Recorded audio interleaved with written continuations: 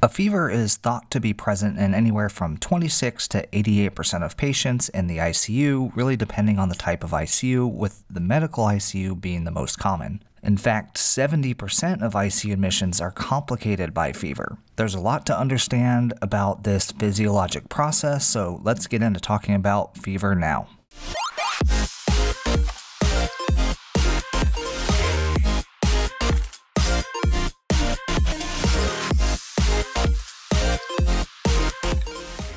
Alright you guys, welcome back to another video lesson from ICU Advantage. My name is Eddie Watson, and my goal is to give you guys the confidence to succeed in the ICU by making these complex critical care subjects easy to understand. I truly hope that I'm able to do just that, and if I am, I do invite you to subscribe to the channel down below. When you do, make sure you hit that bell icon and select all notifications so you never miss out when I release a new lesson.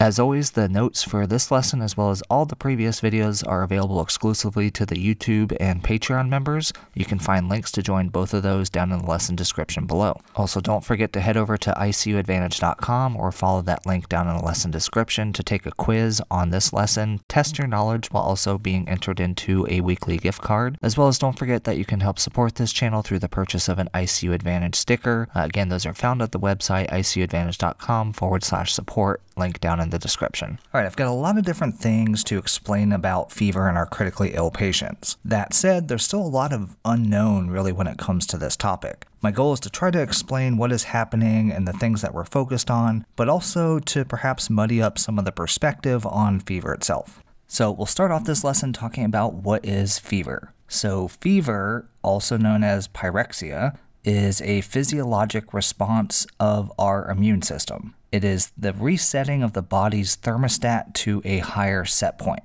Now, this is different than hyperthermia, which is often used to refer to increased body temperature due to external sources or increased heat production, and not necessarily resetting of the body's regulatory mechanisms. So, an example of this would be like heat stroke from exercising out in warm temperatures. Now, hyperthermia typically isn't something that we see in the ICU necessarily, and it's often handled down in the emergency department. Now, normothermia or normal body temperature is considered to be around 38.6 degrees Fahrenheit or 37 degrees Celsius. And our temperature actually varies quite a bit throughout the day and can often range anywhere from 96 to 100.8 degrees Fahrenheit, which comes out to 35.6 to 38.2 Celsius. Now, fever is technically defined by the CDC and the World Health Organization as a temp that's greater than 100.4 degrees Fahrenheit or 38 degrees Celsius. That said, though, the American College of Critical Care Medicine, so the ACCCM, and the Infectious Disease Society of America, IDSA, have set an arbitrary definition of fever for ICU patients as a temperature that's greater than 101.0 Fahrenheit or 38.3 Celsius.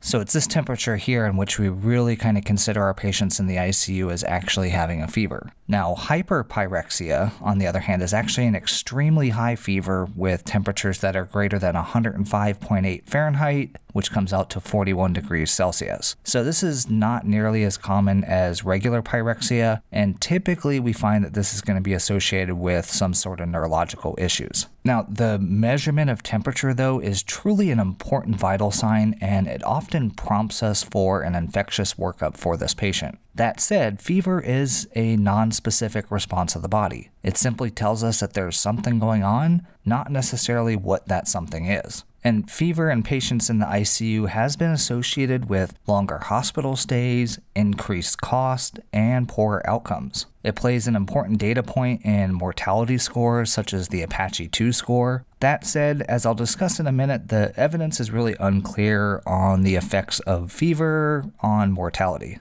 All right, so next let's talk real quickly about the pathophysiology of fever. So, fever is really common throughout nature and, in fact, in many species. Most species actually mount a fever in response to an infection. Therefore, this is a very natural reaction for our patients, and it's something really hardwired into our evolution from probably long before we were ever here. Now, there are different pathways that can result in fever from uh, neurological to chemical pathways, but for the sake of this discussion here, I'm going to exclude the neurogenic causes as that really kind of warrants its own discussion. So, to begin, we have the hypothalamus in the brain, which is really what's responsible for regulating the core body temperature. So, it really functions like a thermostat.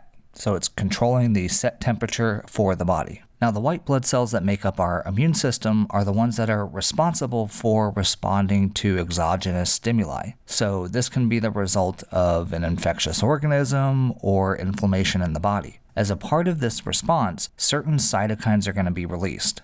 So, we have IL 1, IL 6, tumor necrosis factor alpha. These are the three that are really identified as playing a role in our fever response. Now, the release of these particular cytokines cause endothelial cells to release COX2 and prostaglandin E2, also known as PGE2. These then cause the release of cyclic AMP and ultimately causing the hypothalamus to increase the body's temperature set point. So, while it's not necessarily important that you kind of understand the steps that are involved, you can kind of see that it's a, cascade of events that take place. Now, the result of having the hypothalamus set point being increased actually leads to a few physiologic and behavioral changes behavioral changes you can really kind of think of more in like the animal world with some of the cold blooded animals that seek out warmer temperatures, but could probably also be related to feeling cold, wrapping up in blankets, trying to keep warm, stuff like that whenever you've had a fever. Now, some of the physiologic changes that we see is we actually see peripheral vasoconstriction, and this is working to conserve heat loss by shunting blood away from the periphery. So, this can often explain why sometimes early in fever that the patient may actually feel cool to the touch. Now, this is also going to trigger our fat thermogenesis, and this is going to be taking place in the liver, muscle cells, as well as in our brown adipose tissue. And then shivering is also another mechanism that can be used to increase body temperature as well. So the combination of these three physiologic effects is going to work to elevate our body's own internal core temperature, resulting in pyrexia or fever. So now let's talk about some of the different causes of this fever response. So we can really think of our causes of fever being in two broad categories. First, we have our infectious causes, and then we have our non infectious causes. So, for infectious causes, this is often what we're thinking of when it comes to fever with our patient. In fact, a study of ICU patients with fever found that 63% of them actually had sepsis. So, this is a very common reason on why your patient would have a fever. Now, some of our typical culprits for infectious causes, especially in the ICU, are things like our bacteremia, our CLABSIs, our CAUTIs, and especially our ventilator acquired pneumonia or VAP. Other potential causes to kind of be on the lookout for are things like sinusitis, colitis, whether this is related to C. diff or not, cellulitis, and abscesses. Sometimes those abscesses can easily be missed. Pressure injuries can do this as well. Endocarditis is another one that's overlooked, along with osteomyelitis, and then definitely our surgical wound infections as well. So, that really said, any potential infectious process can lead to a fever response in our patients. And thus, really having that good history and physical, those good assessments should really help to identify any potential causes in our patients. Now, for our non infectious causes, this itself is actually a pretty broad grouping. This does include the non infectious causes such as like central nervous system derangements, malignant hyperthermia, serotonin syndrome, stuff like that. But often when we're thinking of these non infectious causes, we're going to be thinking of inflammatory processes that could be responsible for fever beyond just those infectious sources. So, one common thing that can actually lead to inflammation and fever is clots. So this can include our DVTs, our PEs, myocardial infarctions, CVAs, and even acute limb ischemia. Transfusion reactions are another source of fever. This can be both the hemolytic and non hemolytic. Cholecystitis, pancreatitis, both of these can lead to inflammation and fever. And then another thing to be thinking about is generally post op. This is often an expected response in the first 48 hours after surgery. That said, if our patient has persistent fevers beyond the 72 hour mark, then usually this is going to warrant that infectious workup and our concern for some sort of surgical site infection. We can also see drug fevers, which can really complicate the picture in the ICU, uh, and these can account anywhere from 3 to 5% of fevers that we see. Our most common culprits for these are going to be our antibiotics, our antiepileptics, antiarrhythmics, diuretics, allopurinol, and even heparin can do this too. These particular fevers usually appear after 7 to 10 days and then resolve themselves within 72 hours. And then some other potential non infectious causes include our malignant processes and our autoimmune disorders. Again, this isn't a fully inclusive list of things, but just some things for you to kind of be aware of and to be thinking about and keeping your eye on as well, especially when your patient has that fever.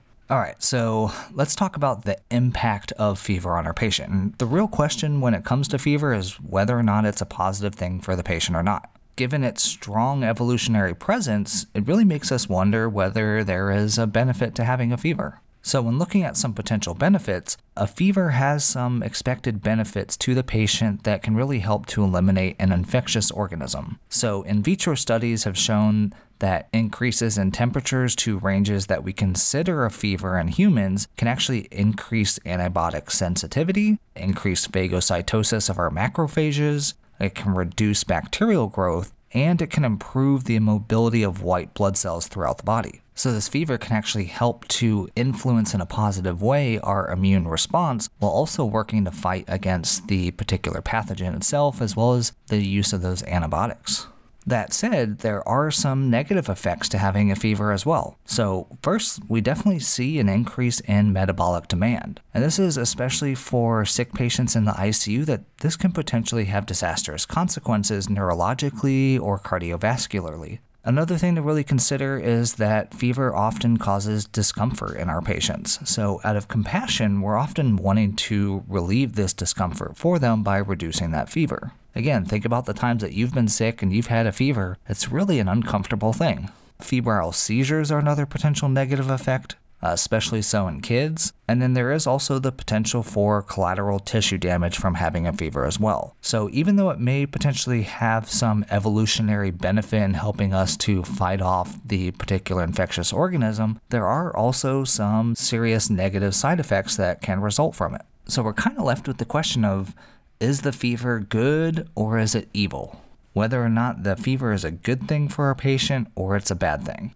And really, this debate has been going on since the dawn of medicine. And my goal here today isn't to be able to definitively answer this question, but to give you some perspective to consider. So, one thing we do know is we do know that patients with acute neurologic injury in the presence of fever can actually have very detrimental effects on mortality for these specific patients.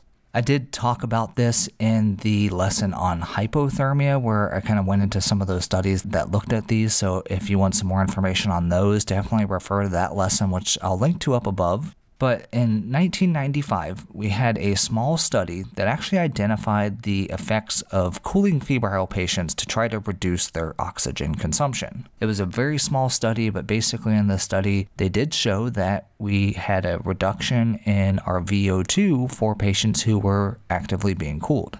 And this goes to the point of one of those negative effects of having that increased metabolic demand. So, by reducing the fever, we decrease that metabolic demand.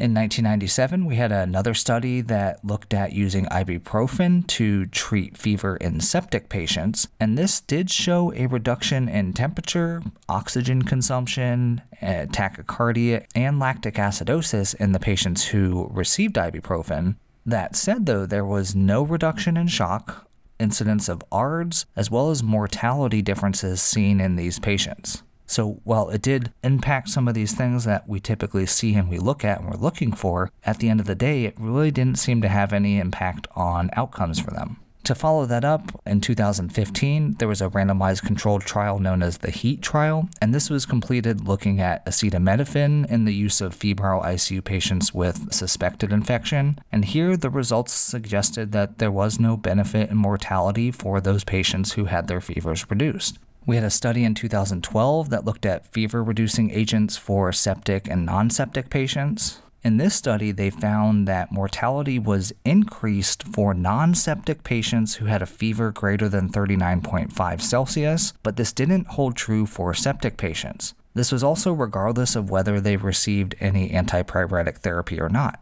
They also found that in septic patients, mortality was actually increased in those patients that had their fevers reduced. So, really, we began to see some stark differences between outcomes both for septic versus non septic fevers, as well as whether or not patients received treatment, what that level of fever was for the patient. There were these different intricacies that seemed to affect the outcomes for different patients. And really, this study helped to show that perhaps the underlying etiology of the fever may be more important in the decision whether or not to treat the fever. In 2017, we had another randomized controlled trial that was performed called the REACTOR trial. And this one again also showed an early reduction in our patient's temperature, but no difference in the length of ICU stay or mortality. In 2019, another trial concerned for the increased metabolic demand on the critically ill patient showed no benefit on mortality in reducing fever. And then in 2020, another study again evaluated antipyretic therapy to reduce fever and found no benefit in ICU stay, incidence of shock, or mortality. And then finally, to muddy the waters even more, there was a small study that was actually just published this year that looked at the use of therapeutic hyperthermia for afebrile septic patients. And it did find a mortality benefit in those patients who had their temperatures increased. So that was a lot of studies and a lot of different information, but what does this all mean? Well, I think the answer is we aren't entirely sure. There are clearly cases where having a fever can have detrimental effects on our patients, specifically those patients with neurological injuries, as well as those high temperatures in non septic patients. There does seem to be some evidence supporting that there's no mortality benefit in just treating a fever because there is a fever.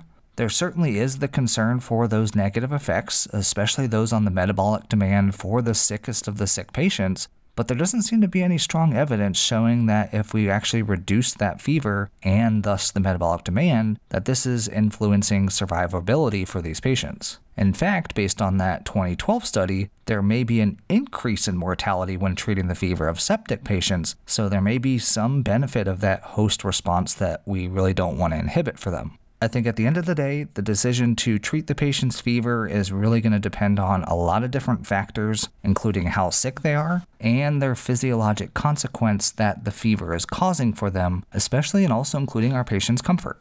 All right, so now that I've hopefully muddied the waters up enough and got you thinking about, hmm, maybe should we be treating this fever or what should we be doing with it for our patients, let's talk about some of our evaluation, treatment, and management of these patients. Now, when we are evaluating our patient with fever, there is a few things that we do want to keep in mind. So, for patients in the ICU, we really should be utilizing a core temperature measurement for proper management. So there's many factors that can impact our peripheral measures such as our oral, axillary, and temporal temperatures. And really here our gold standard is the temperature measure from the tip of a PA catheter. Unfortunately, this is far from uncommon, especially outside of the cardiac ICU. Therefore, the next best thing would be a bladder temperature probe or an esophageal temperature probe. Rectal probes and temps will also get us closer to core temperature, and they certainly are a viable option as well. Now, we do want to evaluate different labs as well as our microbiology. And first off, blood cultures really should be drawn on all patients that have a new fever. Other cultures should also be done on areas of suspicion to potentially identify any sources of possible infection. So these include our sputum cultures, our bronchoalveolar lavages or our BALs for pneumonia, urine cultures, wound cultures, CSF, anything that potentially would apply to your patient. And remember that our cultures should be drawn before any antibiotics are administered. Other various labs can be used to help identify possible sources of infection and inflammation. We have our CBC, which can help identify hemorrhages. We also have the white blood cell counts on there. Our CMPs and our LFTs, we really want to be checking our kidney and liver function. Doing a serum amylase and lipase, uh, especially in patients that have abdominal pain, can be helpful in evaluating for and ruling out pancreatitis antiglobulin if we have a suspected transfusion reaction, thyroid profile for thyroid storm, acetylcholine for adrenal insufficiency. CRP is also another thing that we can check, which we do see it increases with inflammatory processes, as well as procalcitonin is another biomarker that we have specifically for sepsis. That's actually a better indicator for severity than just looking at our CRP. Imaging is another thing that we can use to help evaluate for patients who have fevers. Chest x rays are obviously going to be helpful to try to identify pneumonia ultrasounds or CT scans. These can really be used to evaluate various parts of the body for those possible sources of infection or inflammation. So, identifying things like abscesses, fluid collections, pneumonia, inflammation such as cholecystitis, etc. As well as endoscopic evaluation may also be helpful. So, this can include our bronchoscopy for evaluation and BAL collection, as well as endoscopy and colonoscopy can be helpful at times too. Now, when it comes to our treatment and management, really kind of first and foremost is going to be our source control. For a patient that has a suspected infection, we really need to establish source control. So, identifying the possible source of the infection is going to be vital in being able to sample as well as treat that particular infection. Also included in this is the replacing of any lines and catheters that our patient might have. Now, also antibiotics are going to play an important role, especially in those infectious causes that are a result of bacteria. And so in these cases, we're typically going to be starting with those broad spectrum antibiotics. And then this should be started as soon as possible, but after our cultures are being drawn. Now, based on the results of those cultures, then the antibiotics that are being used should be narrowed down to attack the specific culprit. And we do need to make sure that we are de escalating and stopping our antibiotic treatment when it is complete to help to try to avoid more antibiotic resistance. And then finally, the last thing here is going to be our antipyretics. And as I previously mentioned and covered pretty decently with some of those studies, this certainly is a topic for debate. Some common fever reduction medications that we use include acetaminophen and ibuprofen, but other techniques such as just uncovering the patient, utilizing cold compresses, ice packs, and cooling blankets and devices can also be used to reduce our patient's fever. So, as you can see, the fact that our patient is presenting with a fever is actually a pretty complex thing to be dealing with. There could be a lot of different causes, both infectious and non infectious, that could lead to our patient having this fever, and therefore the ways that we treat and deal with it are going to vary differently based on whether it's infectious or not. And then there's obviously a lot of debate about what is the appropriate way to manage, both from a patient and family perspective, that, you know, if they see us not treating a fever, sometimes this can create the perception that we're doing anything for their loved one, as well as even just on a medical personnel sense of things that I think a lot of people just expect that when we reach a certain point with our fever that it is just something that we're going to treat and to reduce that fever down. I'm not saying one way is right or the other, but it definitely seems like there is some mixed information out there and certainly will be interesting to see as time goes on as more studies will certainly be done if there's anything that really kind of stands out as a clear way in which we should be managing these but at the end of the day, I think it really is going to be so much dependent on that particular patient's unique situation. So I hope that you guys found this information useful. If you did, please leave me a like on the video down below. Uh, it really helps YouTube know to show this video to other people out there, as well as leave me a comment down below. I love reading the comments that you guys leave, and I try to respond to as many people as I can. Make sure you subscribe to this channel if you haven't already, and a special shout out to the awesome YouTube and Patreon members out there. The support that you're willing to show me and this channel is truly appreciated, so thank you guys so very much. If you'd be interested in showing additional support for this channel, you can find links to both the YouTube YouTube and Patreon membership down below. Head on over there and check out some of the perks that you guys get for doing just that, as well as check out some of the links to other nursing gear, as well as some awesome t-shirt designs I have down there as well. Make sure you guys stay tuned for the next lesson that I release. Otherwise, in the meantime, here's a couple awesome lessons I'm going to link to right here. As always, thank you guys so much for watching. Have a great day.